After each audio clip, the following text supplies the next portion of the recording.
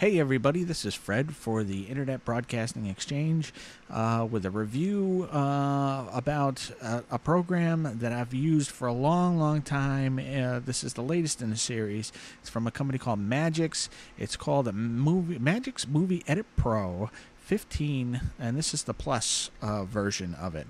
Okay, uh, this company's been around for a while. I've been using it since uh, number 10, actually. And the reason why I use it is because it's easy to use. Okay, the uh, the user interface is very intuitive.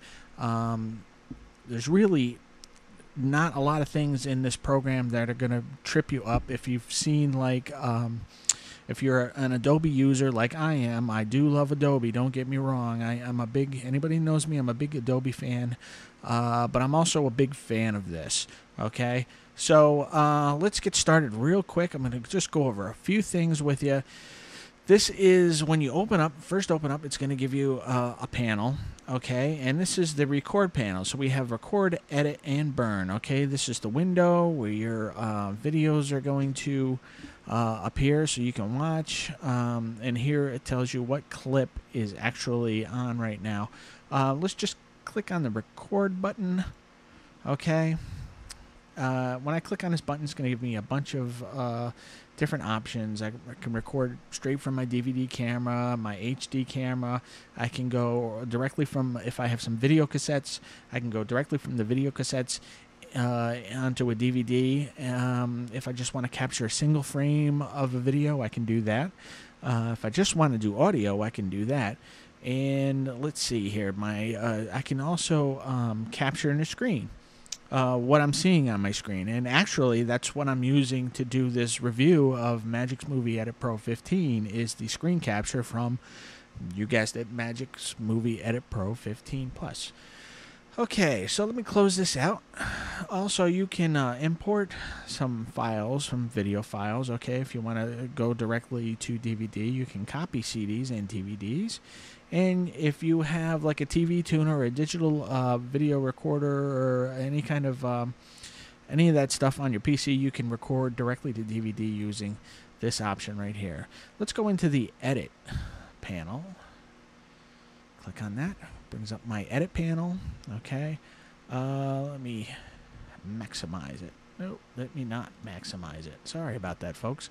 Uh, let's see here. So, um, you have these different tabs here. Okay, this is your window where you're going to watch your video where you, that you're making it. Okay, this is the drop panel. This is where you drop in all your um, your uh, video files and your titles and all your effects and stuff. You'd be dropping in here and this is your window where you get you know you can import your files okay?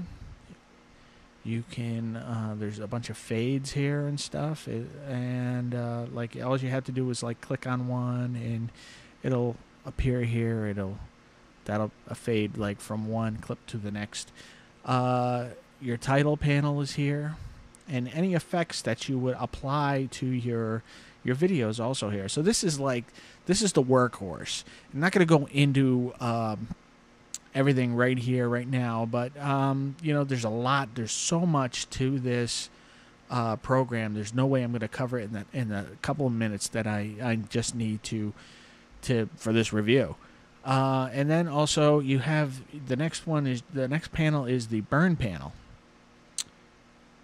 let's see here. And this is where you would make your your uh, your DVDs, okay? And you're going to notice down below here, there's a lot of different uh, pre-made DVD um, menus, menu options. Like here's here's one for Santa Claus. Let's uh, let's pull him up. Yep, there he is, Santa Claus. So if you were doing uh, a video for you know, Christmas, I would assume, right? Uh, for your family or something, you could do that. Uh, but this is mainly uh, if if you're doing um, streaming on the web, uh, you probably wouldn't use this too much, but it's a nice to have. So it's it's actually it's actually really really uh, really really good a lot of good stuff here. So, um, like I said, in the future, we're going to have a bunch of tutorials on how to use this program. So, um, thanks for watching. This has been uh, this is Fred for the Internet Broadcasting Exchange, and this again has been our review of Magix Movie Edit Pro 15 Plus.